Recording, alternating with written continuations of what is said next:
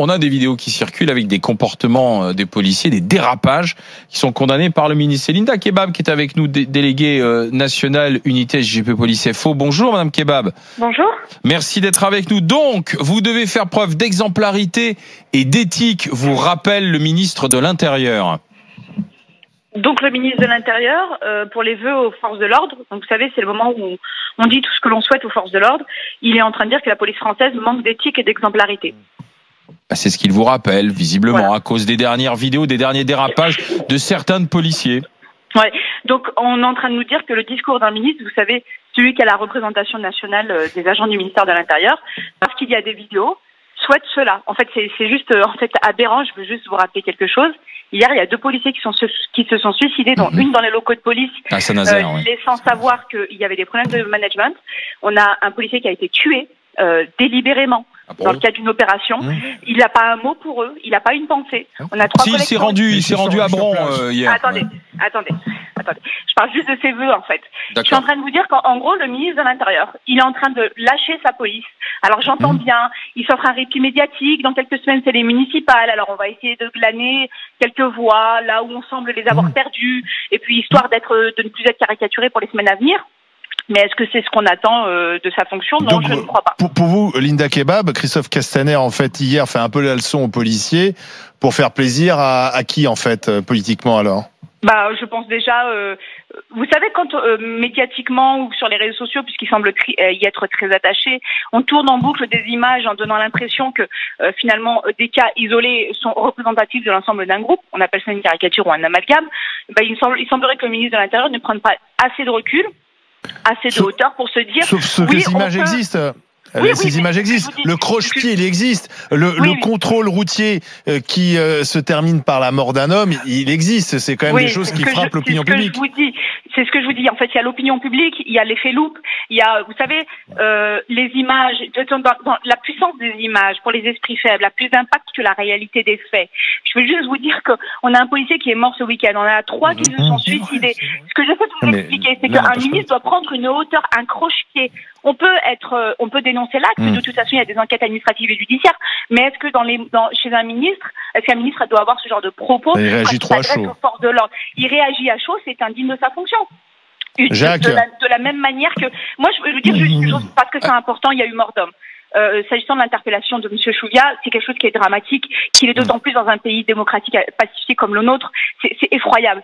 Néanmoins, à quel moment est-ce qu'on a dit on va voir euh, l'enquête? À quel moment est-ce qu'il euh, y a a priori la fracture du, du de, au niveau, au du, larynx. du, larynx? Est-ce que c'est l'étranglement? Est-ce que c'est l'amener au sol qui a provoqué la fracture? Est-ce que c'est un mauvais geste de technique professionnelle d'intervention? Donc c'est quelque chose qu'on nous enseigne. Hmm. Tout ça, on ne laisse même pas le temps à l'enquête. Et tout le monde est là en train de dire c'est une bavure. Mais mm. vous savez, interpeller des gens, c'est pas beau à voir. Une opération de maintien de l'ordre, même si elle est faite réglementairement, ce n'est jamais beau à voir. Et oui, malheureusement, il peut y avoir des blessés. Je veux juste vous dire une chose, ce n'est que le début. J'ai eu un message ce matin, il manque 60 moniteurs. Vous savez, c'est ces personnes qui nous apprennent les gestes techniques euh, professionnels d'intervention. Il, manque 60 moniteurs rien qu'en Ile-de-France.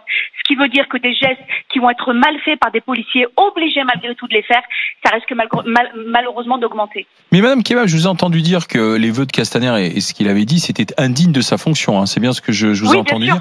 Donc, ça, il, est, il, est, il est temps de changer de ministre de l'Intérieur? Mais en fait, je pense, je pense que euh, il est arrivé en fait au bout.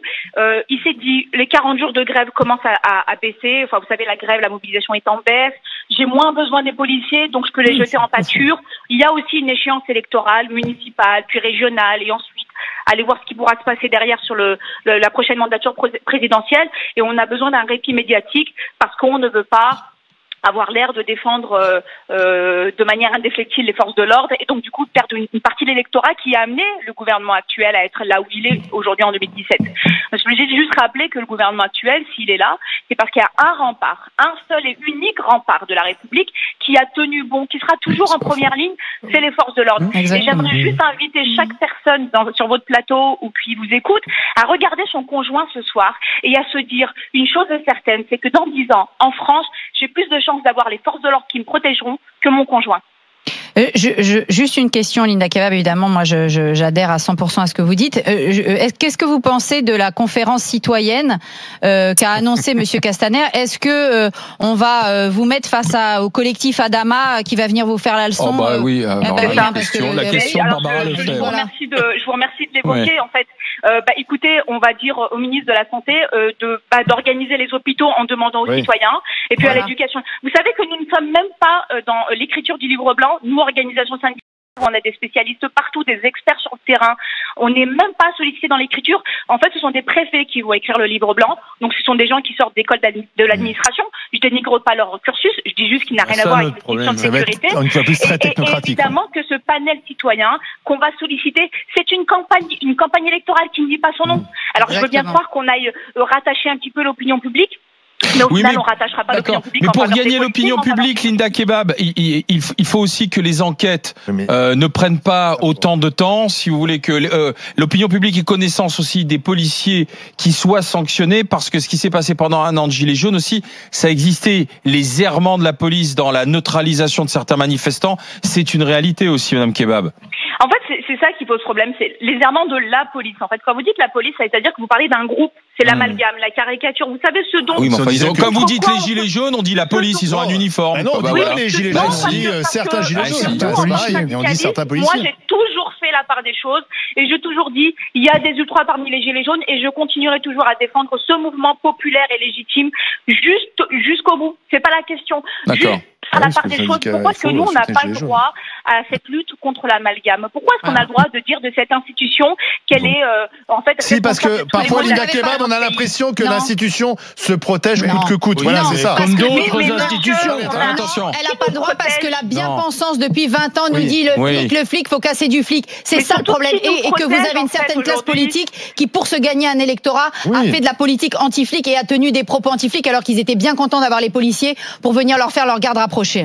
En fait, je veux juste vous rappeler une chose. Honnêtement, on a le sentiment très euh, légitime que les médias nous lâchent, enfin nous ont lâchés, ou en tout cas font leur beurre sur notre dos parce qu'on tourne en boucle des images euh, sporadiques, tout en oubliant finalement la difficulté dans laquelle on œuvre et surtout de rappeler le contexte dans lequel on travaille.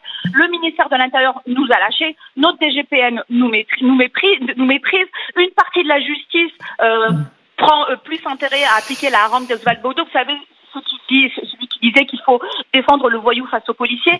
Enfin bref, on est tout seul. Et moi, ce que je, trouve hallucinant, c'est quand, quand on m'interroge et qu'on me dit dénoncez-vous vos collègues. Je vous le dis très solennellement, jamais vous ne dénoncerez des policiers dont la seule et unique volonté c'est de vous défendre parce que nous sommes seuls, parce que personne nous défend. Et quand il n'y aura plus de syndicat de police, il n'y aura plus personne pour défendre les policiers. Merci Mme Kebab, déléguée nationale unité J Police euh, FO. Merci d'avoir été avec nous.